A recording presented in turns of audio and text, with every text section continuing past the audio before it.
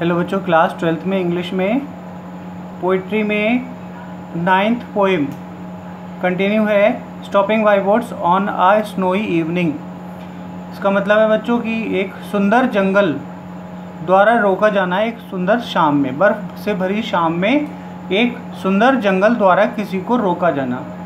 तो इसके पोइट हैं रॉबर्ट फ्रोस्ट, जिसमें वो बता रहे हैं कि वो एक बार अपने प्यारे से घोड़े के साथ एक सुंदर, बहुत ही सुंदर जंगल पार कर रहे थे क्रॉस कर रहे थे।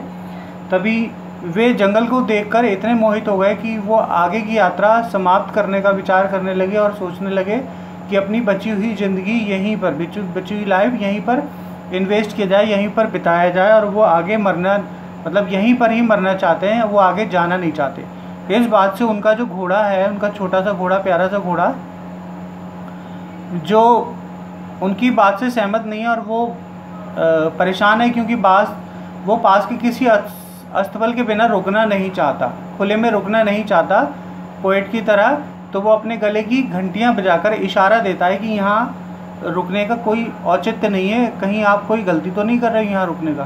तब कभी को ध्यान आता है कि हाँ मेरा घोड़ा ठीक कह रहा है और मुझे अपने बहुत सारे वादे पूरे करने हैं, मरने से पहले मैं यूँ ही अभी नहीं मर सकता। ओके बच्चों तो कंटिन्यू करते हैं।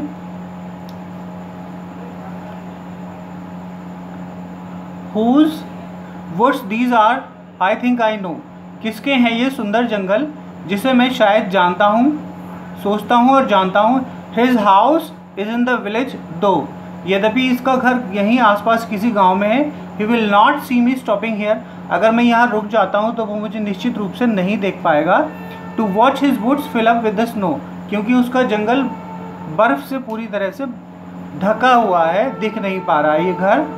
My little horse must think it queer मेरा छोटा सा प्यारा सा घोड़ा बहुत बेचैन है ये सोचकर to stop without a farmhouse near क्योंकि वो पास के किसी फार्म हाउस के बिना रुकना नहीं चाहता, वो फार्म हाउस में ही रुकना चाहता है, अस्तबल में रुकना चाहता है। Between the wood and frozen lake यह स्थान जमी हुई झील और जंगल के बीच स्थित है। यह स्थान जमी हुई झील और जंगल के बीच स्थित है। The darkest evening of the year और वर्ष की सबसे गहरी शाम है।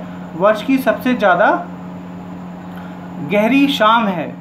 He gives his harness bell और शेख वो परेशान होकर अपने गले की घंटियाँ, गले में लटकी हुई घंटियों को बजाकर इशारा देता है और हिलाता है। टू आस्क पूछता है इफ़ देर इज़ मिस्टेक कि यहाँ रुकना कहीं कोई गलती तो नहीं है? The only other sound is sweep केवल और केवल दूर से तेज हवा के साफ़ करने की, तेज हवा जैसे झाड़ू लगाई जा रही है, सूखे पत्तों में इस तरह की आवाज़ सुनाई दे रही, केवल और केवल और इजी विंड डाउनी यह तेज हवा में बर्फ़ के टुकड़े और बर्फ़ के धुंध की आवाज़ बर्फ़ के टुकड़ों की आवाज़ दिखाई, सुनाई दे रही है। नेक्स्ट संजय बेटा तो इतना सुंदर दृश्य होने के बाद वो, जब उनका घोड़ा उन्हें एहसास दिलाता है, तब उन्हें भी समझ में आता है कि शायद मैं सचमुच कोई गलती कर रहा हूँ। The woods are lovely deep and dark the woods are lovely जंगल बड़े प्यारे हैं डार्क एंड डीप बहुत गहरे हैं और बहुत घने हैं। But I promise to keep परंतु मुझे लोगों से किया वादा पूरा करना है। But I promise to I have promise to keep परंतु मुझे लोगों से किया वादा पूरा करना है।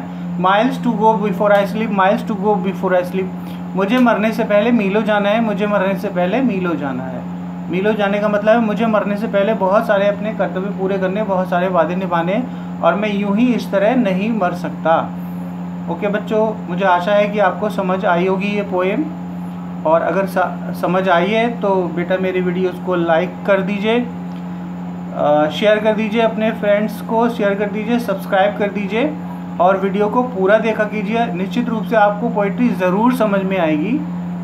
और इसी तरह से कंटिन्यू सपोर्ट करने के लिए thank you so much thank you so much thank you so much again okay बच्चों